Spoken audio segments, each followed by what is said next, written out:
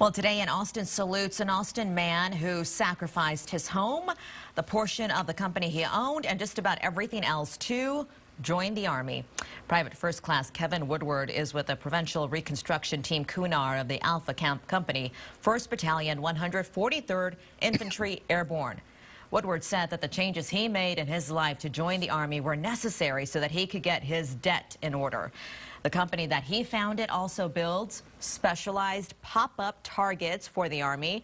He is part of the only Airborne National Guard unit in the Army, the Alpha Company. So, if you would like to nominate somebody to be recognized in our Austin Salute series, we'd love to do that. Send us your submission by going to austinsalutes at kxan.com. Big sacrifices.